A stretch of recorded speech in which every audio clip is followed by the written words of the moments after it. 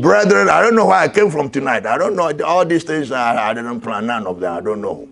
But you see, the spontaneity of the Holy Spirit. We have to walk in that. You see, I, I, I, I saw this with Smith Wigglesworth. Okay, as I read, you know, his books. And I read, I said, Father God, look at this guy. He is coming to preach. He said, I don't even know where I'm going. I don't know what I'm going to talk about. So, but the moment the time comes, he rises over there, boom, he going. He opens his mouth, the first word that comes, that's it. And the Lord rises from the depth of his being and takes over. Ah, I saw that. Okay, Lord, how do I learn this? So you walk with me. Walk with me. The spontaneity of my spirit, okay, will be releasing you. You'll be able to speak. Don't don't, don't worry. Right? So now I, I say I can testify that the Spirit of God is spontaneous. You don't control him. But if you allow him, he will manifest himself when you didn't even th- uh, think that he will, he will do something. The Lord takes you by surprise. The Lord will reveal himself when nobody else can help, he will help. That's right. Amen. So learn to walk close with the Lord. Know him. Know him and be aware of the fact that the Lord Jesus Christ lives inside. You see, that's one thing people don't do. People don't really, they don't really think that Christ lives in them. But Christ lives inside you. Your thinking must be renewed and you recognize him. See, I, I, I, I, I told you nowadays, okay, when I'm coming to preach, I don't worry. I don't worry. Well, you know what I do? I surrender my being to God. I say, Lord, these are your people. You die for them. I didn't die for them. The only thing I know you need is that you, you, you need my heart to be free to you. So, Father, take over my heart. My heart is yours. Speak whatever you want to speak to the people. I ain't gonna, you know, you know withstand you. I ain't, I ain't gonna be a hindrance in you. Lord, I am, I am, I am available. Use me, but I have to be sensitive and hear what He talking on the inside.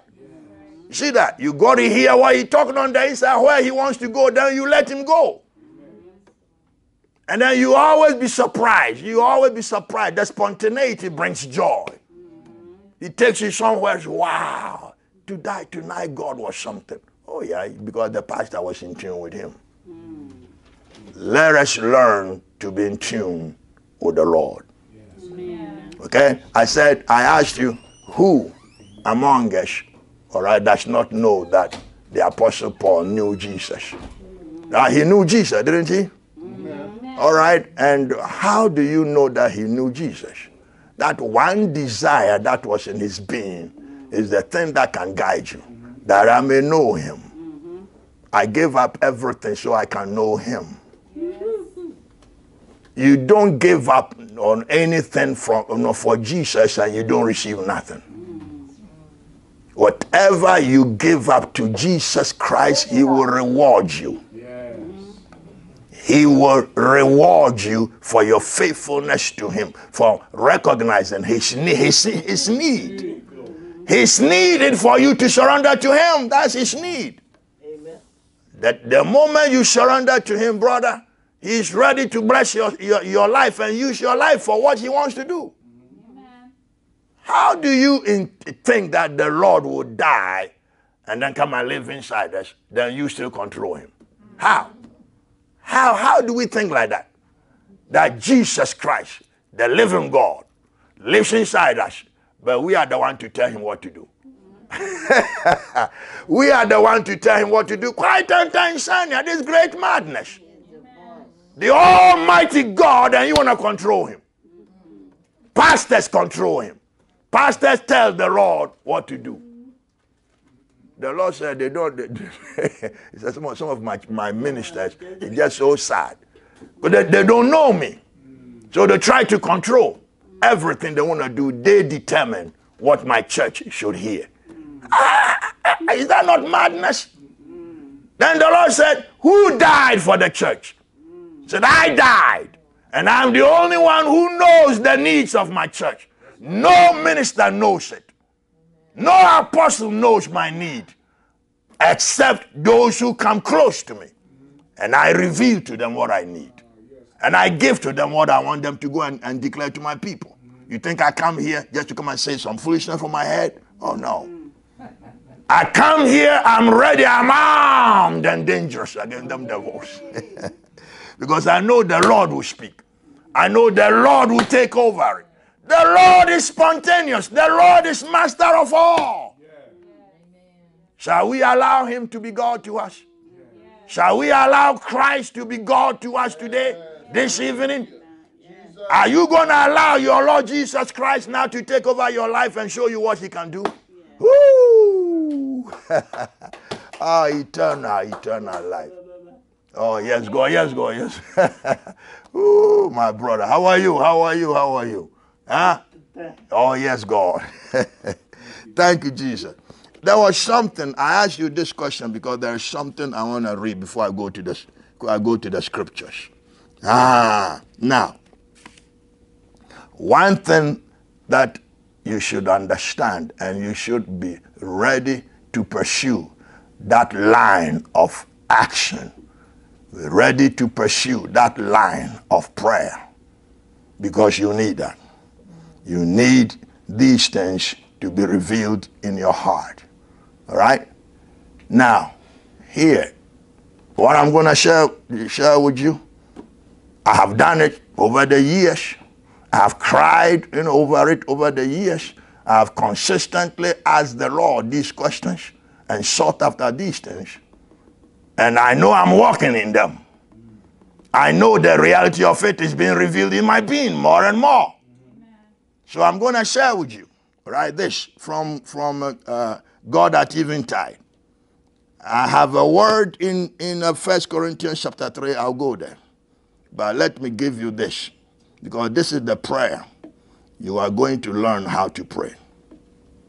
All right? Okay, it says, uh, God at Eventide, April, no, April 22nd. Okay, April 22nd. He says here, it's a simple no, cry that shall rise from your heart unto God persistently and consistently. You see, when you want something from God, you have to persevere. Amen. Okay? Anything you want from the Lord, you can't just take it for granted. You have to pursue it. You have to believe it belongs to you. You have to know that it is the will of God for you to walk in that. I said Paul knew God, right? He knew Christ. And the Lord has told us of all the apostles, the only the apostle Paul walked with him the closest. Of all those you know, who walked with him, he said, Paul walked with me the closest. And so I honored him by revealing things that I didn't, you know, entrust to the, to the others. I gave him my secrets, the words of eternity, to not to handle it for me. Don't you understand? He said, he said that what, what I was I was asked to, you know, to proclaim the unsearchable riches of Christ. He said, God he said to me, who am the least of all the apostles, this this this grace was given to me. What grace? So that I will I will declare the riches of Christ that no man can search it. I'm supposed to search out riches that no man can search out. I'm supposed to make known the riches of Christ that are unsearchable. So how will I do it? I thank my God. I thank myself. You all don't understand. I thank my God. I'm going somewhere. I thank my God what? Talking tongues You are slow, you are slow, you are slow. My goodness. I thank my God. I talk them tongues more than you all. That is how it is the Lord who opened it to us. Why, why did Paul say certain things that are so mind boggling? Because I pour them into the realm of tongues. That channel is the channel of revelation. You say you can walk in it. That's why the Lord tells us read the word of God, consume the word of God, spend some good time in the word of God, and then bless Holy Ghost. Spend time in the word of God, and then two, three hours in the Holy Ghost. Do that. until my light bursts through your being. Amen. My light shines, and you come in the light, and you are one with me. He said, When you are one with me, what is inside me flows into you because you are walking in the light. My light is shining on the inside through the blasting of the Holy Ghost. There are some three stumps that have been know, you know, dug out. The, the, the, the old three stumps of your old life, the roots are still there in your soul. I got it devastate all. I got it pull down, tear down, uproot them and then start to you know get some some some some fruit of the spirit to grow in their place. So bless Holy Ghost until my light. You see, when you read when you read Isaiah 58, right? What what what is not Isaiah 58? Who knows? The fasting chapter. Amen. The fasting chapter in the Bible is Isaiah 58. Look at the benefits. Look at what happens when true fasting is undertaken by the sons of God. So then shall your light burst forth. Light in your being will burst forth. And your healing, your health will shine. Oh my Lord. The glory of the Lord. The glory of the Lord shall be your rear guard. It protects you. The glory protects you. You don't need no you don't need no armor bearer. You got the glory protecting you. You don't know you don't need no no no police okay to protect you. You got the ah, we got the glory behind you. He watches over you. Jesus and you and, and then you need some what some some someone some policeman to protect you. It got Jesus.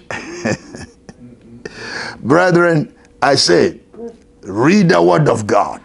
The Lord is saddened by the fact that his people don't like to read the word of God. His people don't like to read the word of God. They may read, read in other books, but the word of God must be devoured. It must dwell in your being. He says, I do nothing outside of my word. And your life ain't gonna be anything else but my word. He said, here, the word of God. He said, the nature of the word of God is this. Its nature. When something is given to you, when a word comes, right, the Lord gives you a word. Or when you read the Bible, right, you must believe it. If you don't believe it, it does not work. If you believe the word and then you obey it in your life, your life will be exactly as the word of God says it will be. Amen. That's what the Lord says. This is the nature of my word. The nature of my word is operative. It operates, it works, it produces the very intent of the word of God. He said, when you read a word of obedience, a word of holiness, it will produce holiness in your being. You read a word of on, on, on my love, it has to produce my love because it is my word. So shall my word be. Which comes not from my mouth. It goes out of my mouth, it will, it will accomplish what, what I sent it for. So my word produces the nature and the character of me, he says. Produces my character, produces my nature. The word is me, he says. And if the word is me, then when you obey it, me is being formed in you. Are you are you hearing? But people don't like to read the word of God. All right, here. It says light comes. I like that. You see light. You see light. It says light comes, right? Uh, are you uh, those who have your God uh, God at Eventide open to uh, our April 22nd? And then see. It says, Lord, show me thyself. You see that little prayer? what a mighty bomb. What a mighty word. Lord, show me thyself is a cry. Hear that. It's a cry that never goes unanswered. No, churchgoers. It's so sad. It's so sad to you to to to, to walk in the midst of churchgoers. You are. I said that when you say, "Lord, show me Thyself," it is a cry that goes ne- never goes unanswered. Amen. Other words, why say that? I will answer that kind of prayer. Amen. Come on, brother. Amen. I will show myself to you. I will reveal my character in your being. If you persist, you see,